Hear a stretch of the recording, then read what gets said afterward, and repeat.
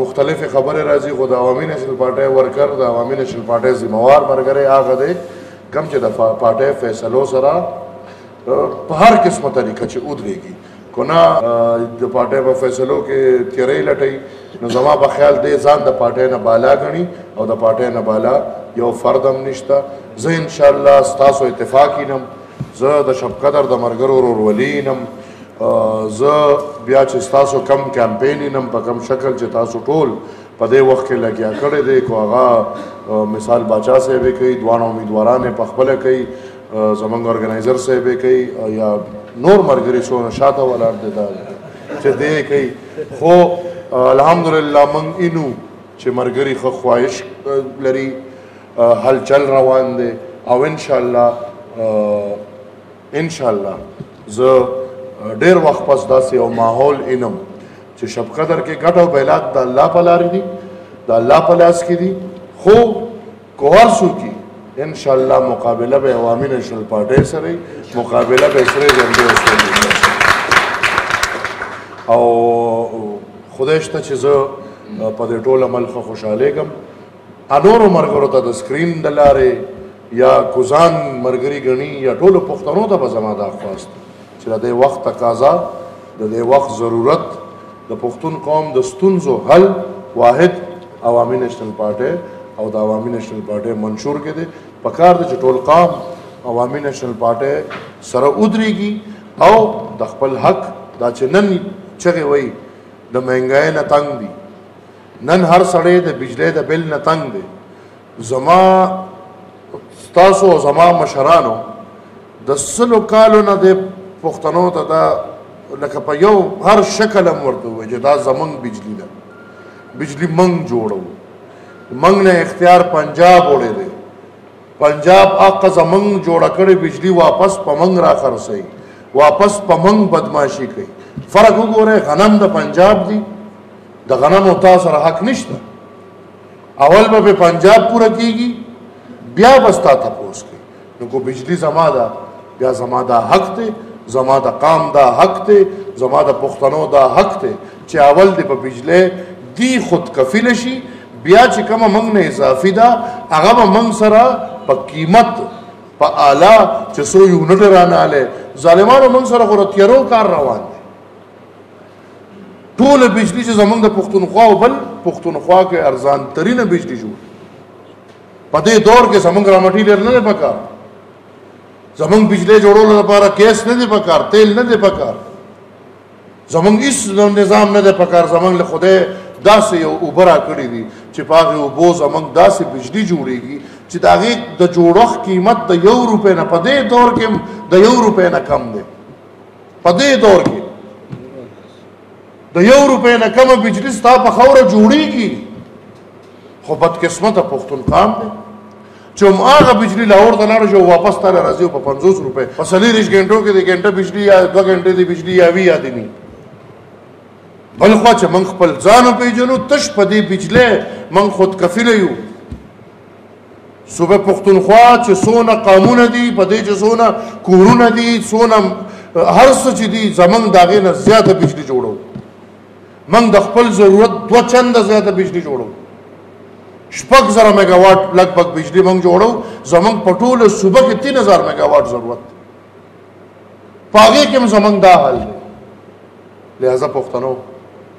وخت راغلی دی چې موږ د سوچو او دا زه قطن تاسو ته پاره نه وایم تاسو خو الحمدلله غي چې ټول عمر د نظریه او د فکر سره والا اړ یزه تاسو په وساتت چې دا کم سکرین ماته کیمرا ده چې زه د دې په وساتت پیغام ټول پښتنو ته ورسو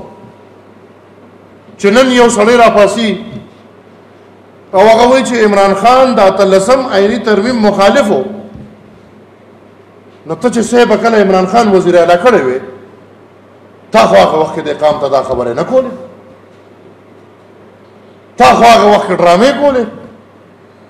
تا خو به اسلام آباد ته درنه وړو چې زه خپل حق غواړم او اسی کیسې به او بیا چې عمران خان راغی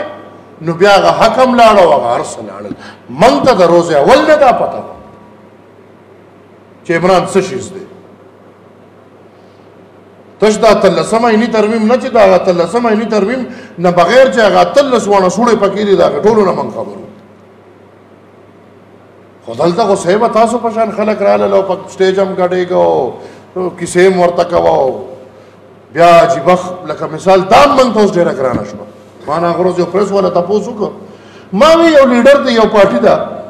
دا به یو سړی وزیر اعلی کې دی نه زیات ور سره سوک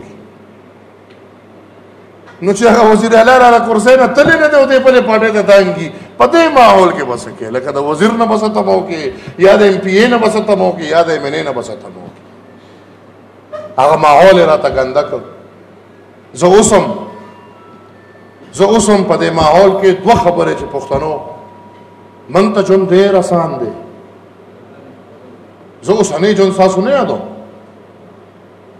کم جون چې د الله د غاړې زمنګ او ساسو د پاره په دې خوره چې الله څه قسم کارونه کړی دی هغه ډېر آسان دی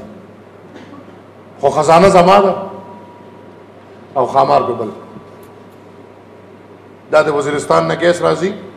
نیخ پنجاب ته ځي په لکه ګیس لکه کې حالات خراب شو مخکې راځو کې کرفیوګانې ولګې دي پښتون پکې مړم شو څه د پاره پایپ لاین تیرول دي جی پنجاب ته د ګیس پایپ لاین رسول دي نو پښتنو یو خو مې نه سول قوم دا زه یوازې نشم بیا زما د پارټۍ مثال لس لکه پښتانه یو موږ دا چې تر څو ټولو پښتنو په دې اتفاق نه کړي تر هغه پورې موږ دا حق نشو راوړی په کار دی چې موږ دې په دې اتفاق وکړو او دویمه خبره ده چې زه د پاکستان چې دا کم د سپینو د تورو مالکان دي زه به دې ته دا خواست وکړم چې ستاسو تاریخ ګواه دی چې تاسو څرته سمه فیصله نه راکړي دا یو جهانګیر ترین په پنجاب کې را میداني کړی دا موږ تاسو ته دا بل صاحب دلته د دنه پیشنې پیشم خان را جوړ کړی قوم ټول په دې پیډ چې ستا ټول فیصله غلط دي او نه نه کې او سبب استومانه نو پرون په ستومانه وینم د بل فیصله او بل ډرامه شروع کړه سبا به په دې ستومانه نو دې ته زما دا خواسته چې خدای ته وګوره د سیاسي عمل نه ګوتې وکاږي جمهوریت سیاست عوامو ته پرېږدي د عوامو طاقت عوامو ته پرېږدي دا طاقت د عوامو نه ماله او تر څو چې دا فیصله په پاکستان کې نه شوي چې طاقت د عوامو دی کو نه طاقت د طاقتورو طبقو دی تر هغه پورې هم موږ ته تاسو ته وجون ګرانی چې په کوم ورځ دا فیصله وشوي د الله دا راخه موږ او تاسو ته ژوند آسان لیکل دي دا الله دا راخه زموږ او تاسو خوره مالامال خوره ده دا د پاجوړ نه را شروع کو تر داغه وزیرستان پورې په ورځه دا د نیپرایټ لکه مثال من خبره کو د نیپرایټ یو ټرک په شلو په 13 کروڑ روپے دی یو ټرک چې غر نه سو ټرک مالو سي هغه ورځ راته چا کیسه کوله وی د سراج الدین خان وی د ټرک چې کوم هغه غند او غند چې سکرپ ورته وی وی د یونی مره پر په سکرپ خرڅ کړ با جوړ کی دا سه ثوابه ته وګوره چې ثوابه دونه بجلی جوړی چې زما ټوله پښتونخوا له خود کفیل دا سه زما ملکان ریجن ته ټولو وګوره د خو راځه ممن ته وګوره چې تاسو سره بالکل په خوا د کم کم کانی پکې روزي او خبر تاسو مې چې اصل سدي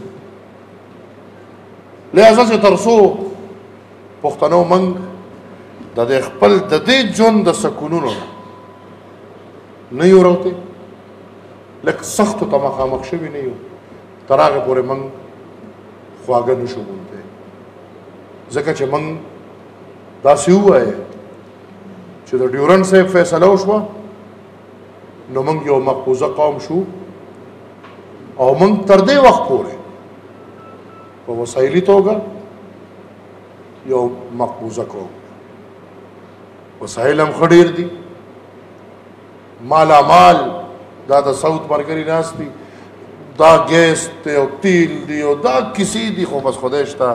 زار زه کې دا ویم چې زما بچي پښتون بچي پکې نارم دی هغه پکې لغړم دی هغه پکې خپېب لخپېم دی دا هغه پکې د کور پته نه لګي داغه پکې تعلیم نشته داغه د پاره صحت نشته داغه هر سروان دي د دې ودانې لپاره پکار دي چې موږ او تاسو او ټول پښتانه اتفاق وکړو په دې دوو نقطو او راپاسو د خپل حق وګټو ان شاء الله پښتون قوم به ترقی یافته قومونو سره مقابله کوي زه تاسو د ټولو یو واره بیا ډیر مشکور یم انتهایی شکریا ادا کوم د ټولو مرګرو چا چې جرګې مرکه کړې دي او تاسو د ټولو کم چې راغلی او دا مې فلم را لخپل کړی دی او بچا صاحب ته یو واره بیا ذاکر بچا ته یو واره بیا خپل کور ته پر راتلو په خیراله ویم زاړه مرګري درته ارد ګرد ناشتي ټول درته خوشاله دي ان شاء الله دا عمل به اوس د دې قدم نه بیا مخ پر وړاندې بوزو